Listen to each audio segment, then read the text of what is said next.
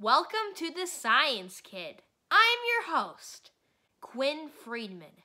And today, we're going to be talking about forces. Forces are everywhere, and they're pushing at you at every single moment.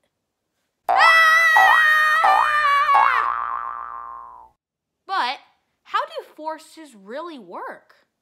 To understand forces, we're going to pass this on to one of my favorite scientists,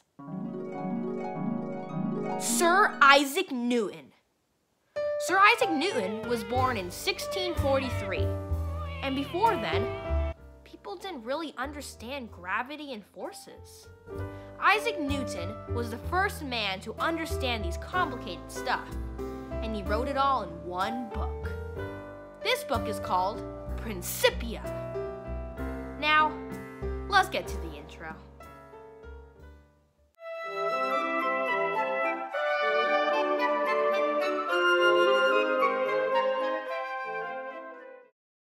Isaac Newton's questioning of science all started when he was sitting next to an apple tree.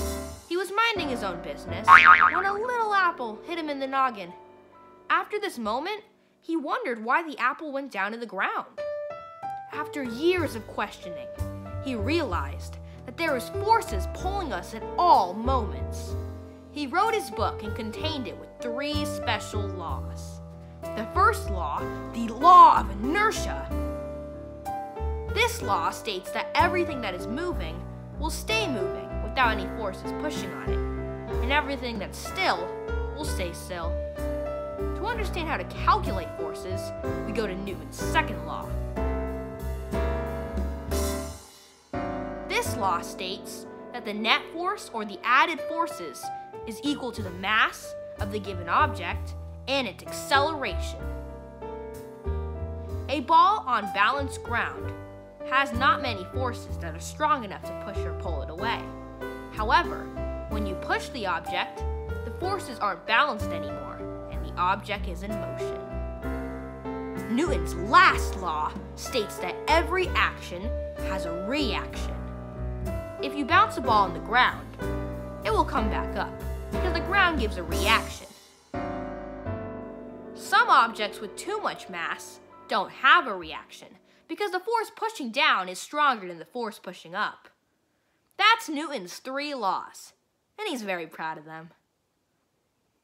Newton's three laws are amazing. Thank you so much, Isaac Newton, or my friend Ryan Smith, for being in this great video. If you want to see more videos like this one, make sure to subscribe down below. Thank you guys for watching, and remember, Ah! Science can always be fun.